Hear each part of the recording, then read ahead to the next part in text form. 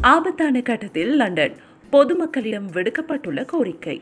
லண்டனில் மரபு உருமாறிய புதிய கொரோனா வைரஸ் தொற்றினால் முப்பது பேருக்கு ஒருவர் வீதம் பாதிக்கப்பட்டுள்ளதாக மேயர் சாதிக் கான் தெரிவித்துள்ளார். வைரஸின் பரவல் வெகுவாக குறைக்கப்படாவிட்டால் அடுத்த இரண்டு வாரங்களில் நோயாளிகளுக்கு படுகைகள் இல்லாமல் போய்விடும் என்பதுதான் உண்மையான நிலை. நாங்கள் ஒரு பெரிய சம்பவத்தை அறிவிக்கிறோம். ஏனெனில் இந்த வைரஸ் எங்கள் நகரத்திற்கு அச்சுறுத்தல் நெருக்கடி நிலையில் உள்ளது. இப்போது நாங்கள் உடனடியாக நடவடிக்கை எடுக்காவிட்டால் எங்கள் தேசிய சுகாதார சேவை அதிகமாகிவிடக்கூடும்.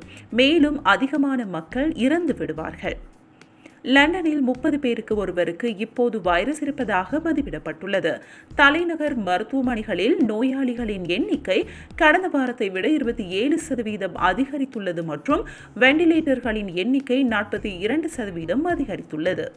பிரதமர் பாரிஸ் ஜோன்சனுக்கு தாம் தகவல் அனுப்பியுள்ளதாகவும் இது மிகவும் மோசமான அவசர நிலை என்றும் மேயர் அறிவித்துள்ளார்.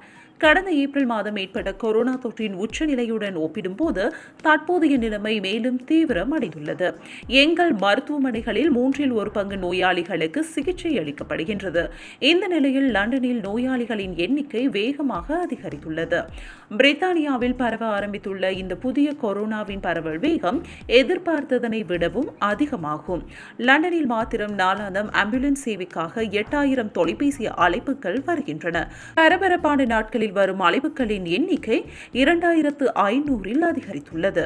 அத்துடன் நாளொன்றுக்கு லண்டன் வைத்தியசாலைகளில் ஐநூறு நோயாளிகள் உயிரிழக்கின்றனர். இந்த நிலைமையில் வீட்டை விட்டு மக்கள் வெளியில் வருவதனை மக்கள் தவிர்க்க வேண்டும். இல்லை என்றால் உயிரிழப்புகளின் எண்ணிக்கை மேலும் அதிகரிக்கும். முடிந்த அளவு வீடுகளிலேயே தங்கியிருங்கள். அதுவே மிகப்பெரிய உதவியாகும் என அவர் கேட்டுக்கொண்டுள்ளார்.